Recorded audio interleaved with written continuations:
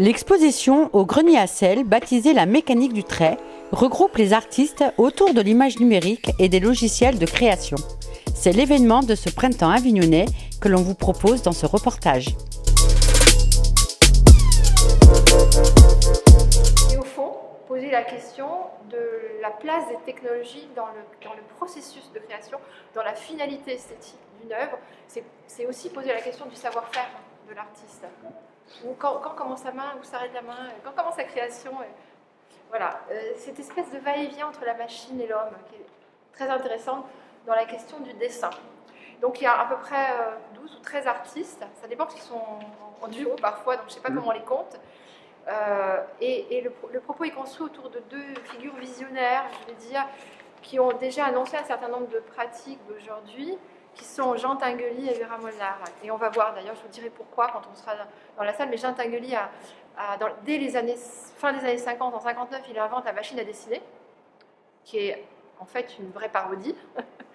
Et euh, Vera Molnar, qui utilise l'ordinateur pour la première fois, c'est une grande artiste, hein, qui a 94 ans aujourd'hui, à laquelle la Biennale de Venise consacre une énorme exposition euh, cette année, qui va ouvrir dans peu de temps, et, euh, et qui a utilisé pour la première fois en 68 l'ordinateur et qui ne l'a jamais lâché. Mais elle explique vraiment très bien le processus créatif qui existe entre l'ordinateur et, sa propre euh, démarche. C'est dans l'accumulation et dans l'agencement dans d'un ensemble d'éléments comme ça que j'ai trouvé le moyen de... Oui, parce qu'il y a à la fois des lignes et des points qui forment des lignes. Voilà, c'est ça. vos dessins sur euh, papier Alors non, alors ça arrive que je les montre, les dessins sur papier, euh, en même temps que le film.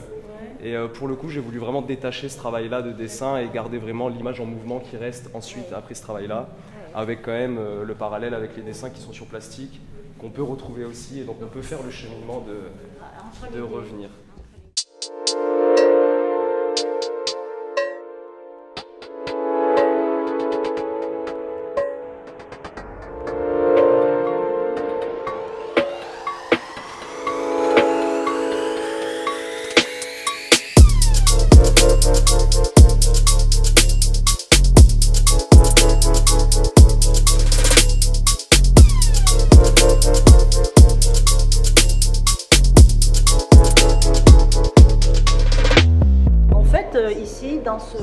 La pièce qui est présentée, qui, euh, euh, combine à la fois euh, le, dessin, le dessin traditionnel, on dirait maintenant, c'est-à-dire le dessin fait à la main, et un dessin d'animation, c'est-à-dire en utilisant des logiciels, la technologie d'aujourd'hui. Et ici, cet ensemble, en fait, nous pose la question de la relation qu'il y a entre le tracé, le tracé fait à la main, mais d'une manière extrêmement tenue, d'une manière euh, presque mécanique, quasi mécanique, notamment dans les dessins qui sont présentés au-dessus, qui sont des dessins euh, euh, réalisés avec un, une sorte de feutre, de stylo avec du gel et des, paillettes, quelque chose qui scintille et qui a une relation à la lumière tout simplement, et qui rend vraiment visible la, qualité du trait, c'est-à-dire c'est un trait comme un trait de gravure, un trait très tenu, en fait, qui est un trait qui, qui a envie de montrer une sorte de maîtrise.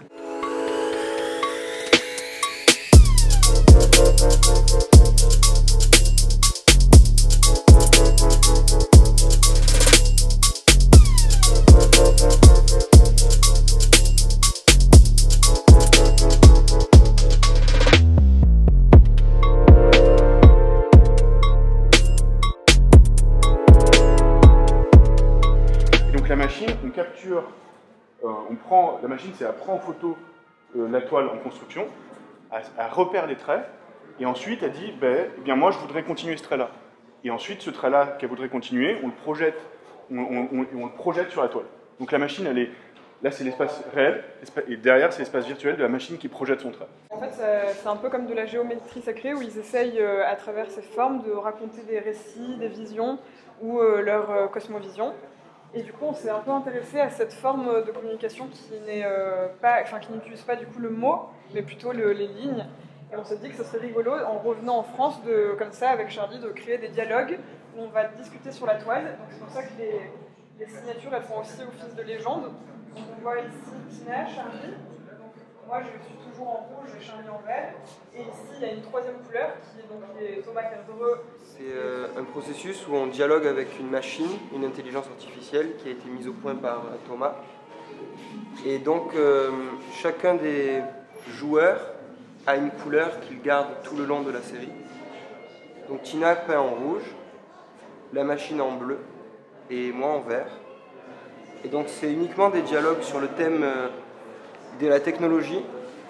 Par exemple là c'est confluence, le fait que toutes les données vont se regrouper sur des data centers, etc. Ça se conflue. Là c'est les influences, euh, le contrôle et la mémoire à droite.